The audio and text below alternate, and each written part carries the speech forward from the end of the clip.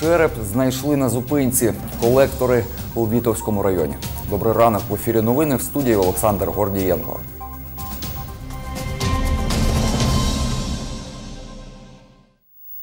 В урні для сміття біля зупинки на вулиці Садовій знайшли череп людини. На черепові частково відсутні лобові, лобова і тім'яна кістки. Світлана, продавчиня магазину, розташованого поруч, не називає прізвища. Жінка говорить, череп побачила, коли приїхала поліція. Я просто виглянула. Я просто виглянула у вікно. Спершу дівчатка співробітниці виглянули, а потім я. Ось таким ось чином.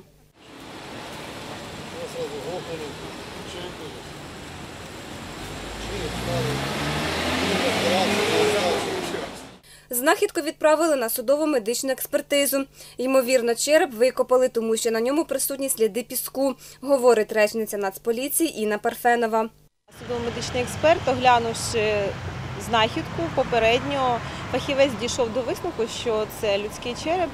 Він дуже давній для встановлення обставин е, і статі, взагалі віку е, цих кісток. Він буде направлений на проведення судово-медичної експертизи. За вказаним фактом, як- як того вимагає процедура у подібних випадках, розпочато кримінальне провадження за частиною першої статті 115 Кримінального кодексу України це умисне вбивство. Е, Розслідування триває. Ніна Булах, Валентина Гурова, Ігор Чорний, Юлія Кускова, Олександр Гордієнко. Новини на Суспільному. Миколаїв. Інформацію про власний похорон отримала жителька Миколаївщини як погрозу від колекторів. Наталія Панашій говорить, дзвонити почали два тижні тому. Особисто у мене немає проблем з банками.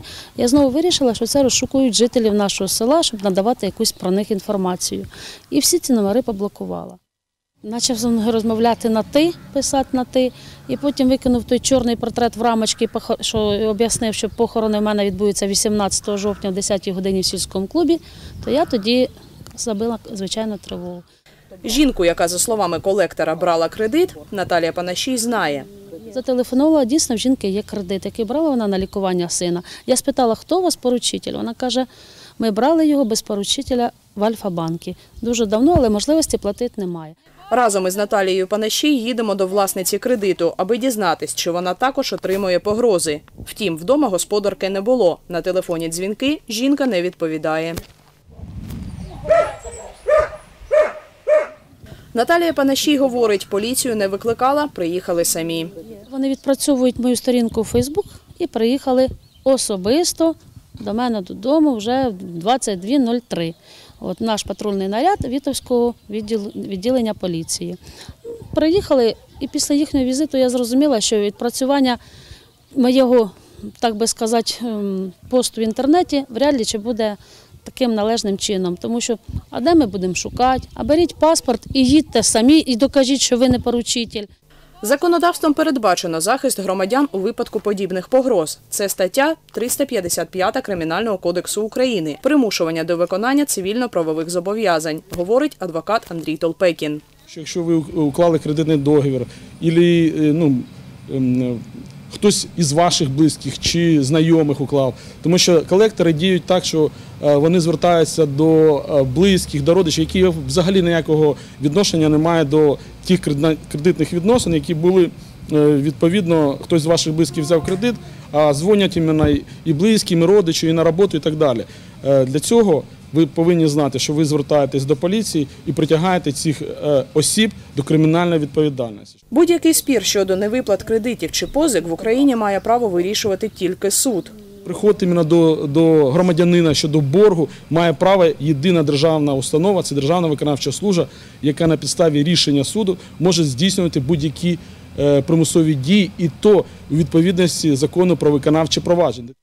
Будь-які другі особи, особи не мають права не приходити, не витребувати якихось е, боргових зобов'язань, тому що це все е, переслідується по е, кримінальному кодексу, стаття 355 кримінального кодексу. Ми зателефонували за номером, з якого Наталії Панашій надходили погрози. Відповів чоловік на ім'я Віталій.